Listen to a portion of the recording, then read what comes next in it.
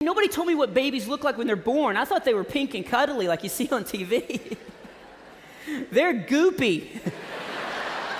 Why wouldn't you tell me that? I'm on the video going, okay, here it comes. It's a, it's a grub worm. Oh my gosh.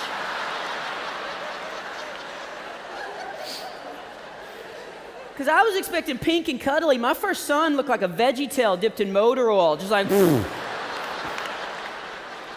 The first two we actually had in the hospital. The third one we did something different. I don't suggest you do, but I'd read an article that it was better to have the baby underwater. Um, yeah, so we did that. Don't do that. Because turns out not everybody at the YMCA had read that article.